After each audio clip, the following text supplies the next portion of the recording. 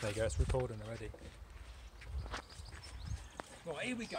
Rusty DIY video, how to change your old cement mixer drum. First job, get yourself a new drum. Here we go, one new drum.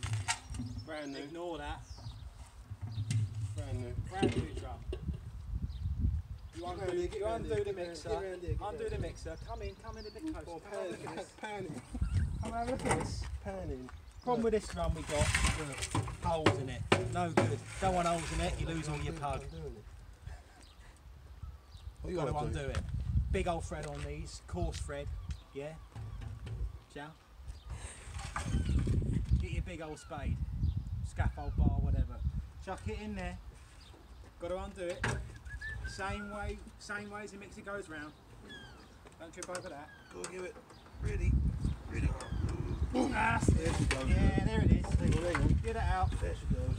Get it out.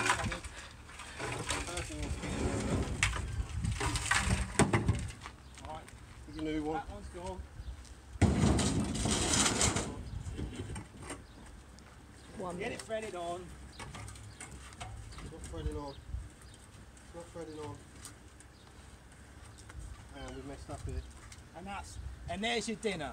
And there's your dinner. Don't worry about the rest of it.